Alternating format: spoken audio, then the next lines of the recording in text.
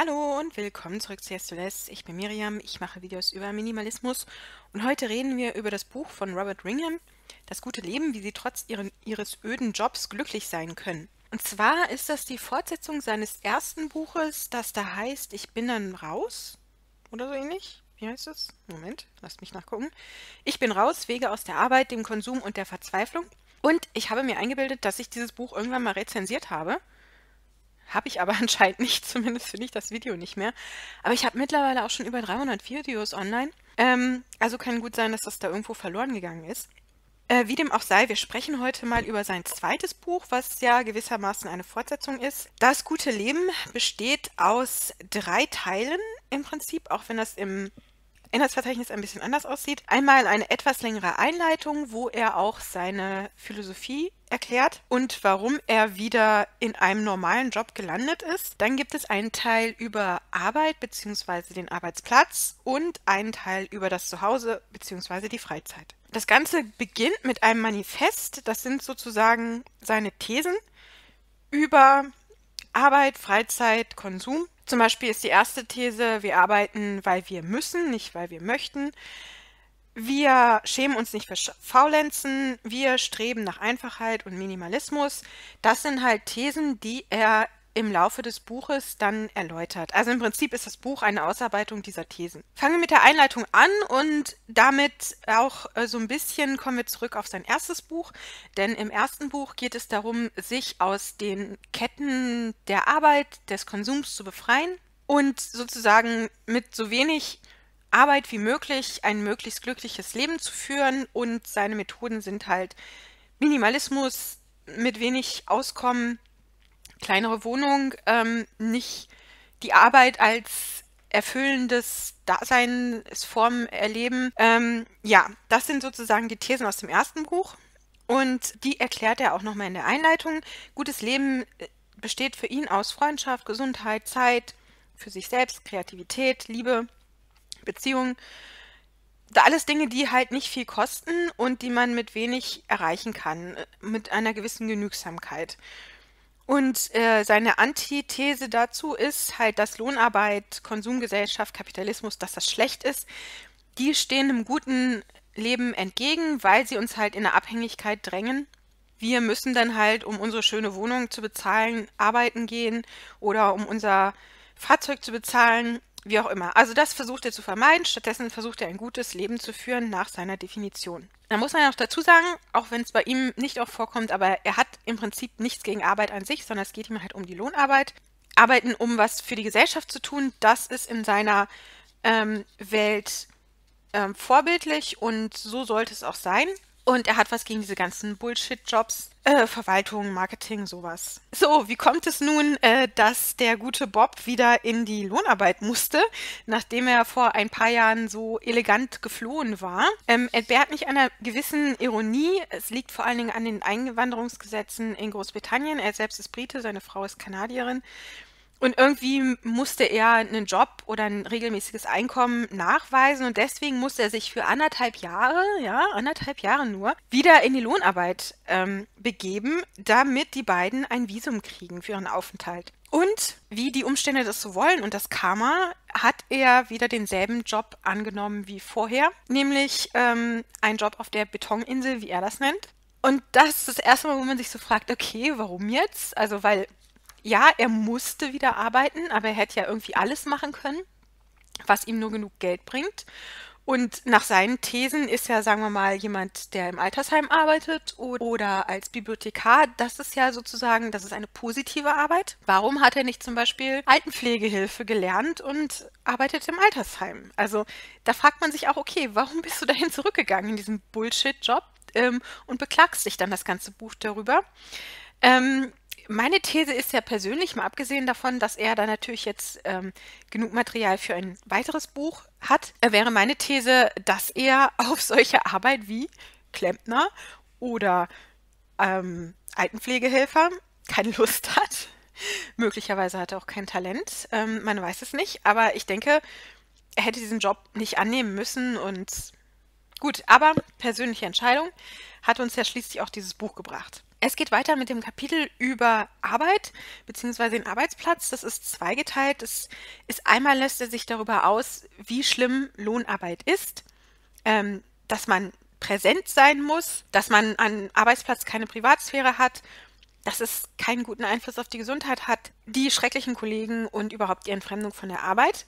Und im zweiten Teil geht er darauf ein, wie man seine acht Stunden Arbeit und den Arbeitsweg am besten verbringen kann, ohne wahnsinnig zu werden. Das äh, sind so eine Mischung von Strategien, von legal und legitim bis ähm, etwas shady. Ähm, er fängt halt an mit so Sachen wie, ja, dass man die Mittagspause zelebrieren soll und äh, geschickt Urlaub nehmen soll.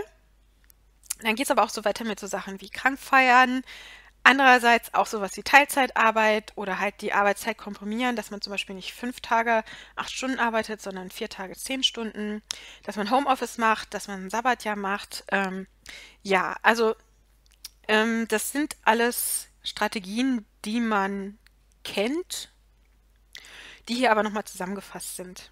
Was mir an diesem Kapitel nicht gefallen hat, war gar nicht mal so sehr inhaltlich, was er sagt, sondern wie er es sagt, nämlich wie er über die Arbeit spricht.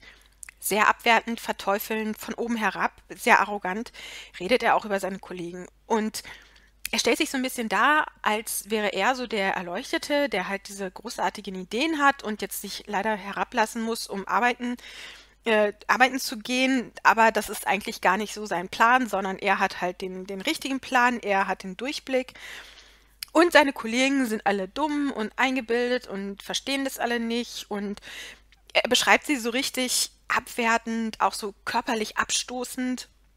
Und bestenfalls ähm, hat er halt Mitleid mit ähm, Leuten, die halt durch die Arbeit gebrochen wurden. Und ich muss einfach sagen, warum macht er das? Also ich kann verstehen, dass er das System nicht mag, aber wieso redet er so schlecht über seine Kollegen?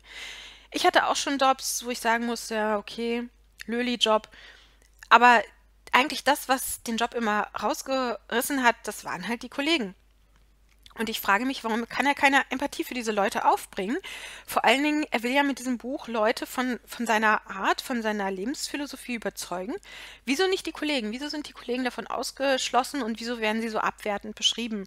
Also, wenn ich mich in seinem Buch wiederfinden würde, ich glaube, ich würde ihn mal besuchen und dann würde ich in sein Buch auf die 12 geben, weil das ist, ist finde ich, nicht in Ordnung. Das ist auch so eine Sache, er, er beurteilt die so, wie er sie auf der Arbeit erlebt. Aber er zum Beispiel gibt sich absichtlich keine Mühe, sich irgendwie in die Gemeinschaft einzufügen. Im Gegenteil, er sondert sich immer ab und am Schluss ähm, ist er dann so ein bisschen, ach Gott, was wollen die mir jetzt schenken? Die kennen mich doch gar nicht und so und ich habe denen doch nie was erzählt.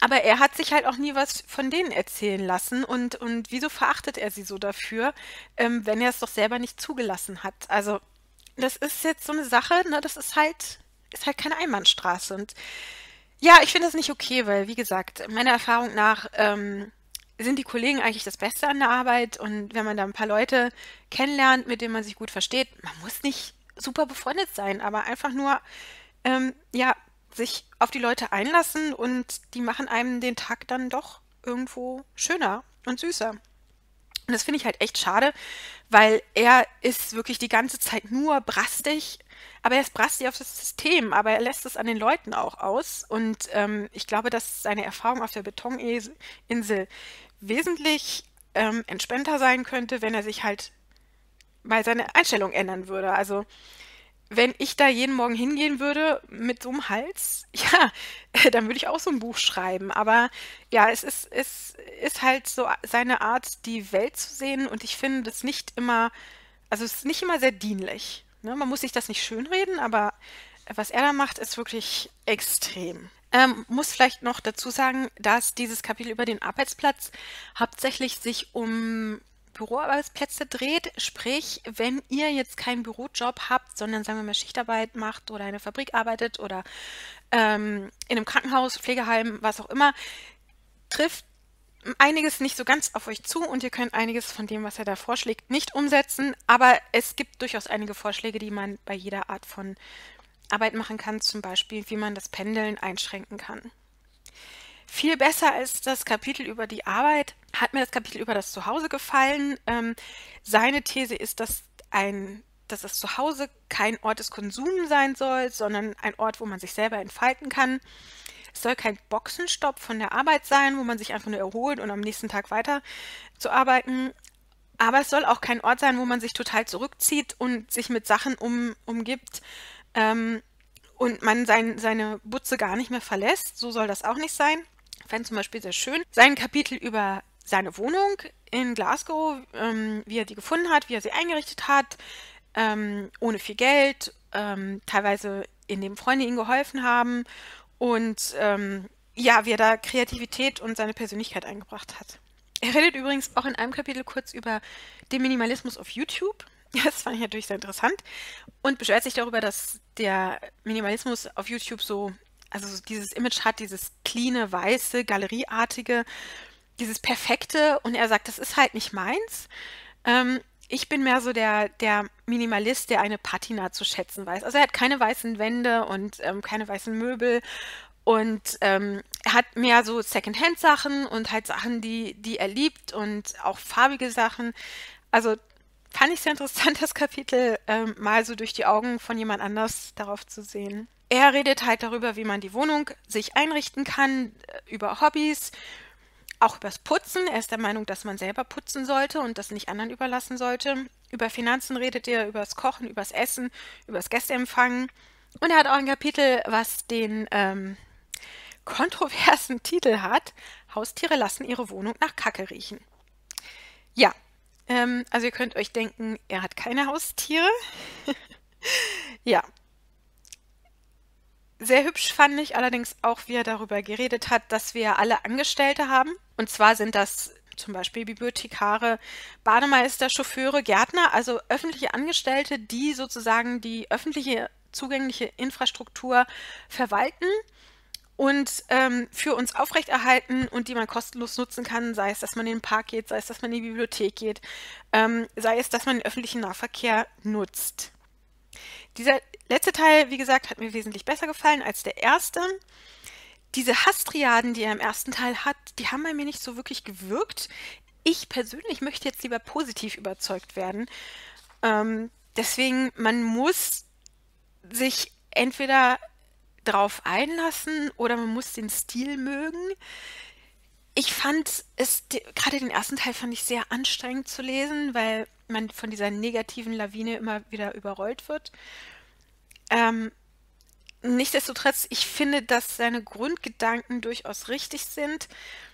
Aber ich muss sagen, als ich den Titel gelesen habe, Das gute Leben, das ist so, das ist so ein Wohlfühltitel und ich habe gedacht, danach fühle ich mich gut, aber ich habe mich eigentlich nicht gut gefühlt nach dem Buch so richtig, sondern ähm, ja, es, es, war, es war nicht schön. Also es, es hat kein gutes Gefühl bei mir verursacht, sondern eher so, dein Leben ist scheiße, aber versuch mal das Beste draus zu machen.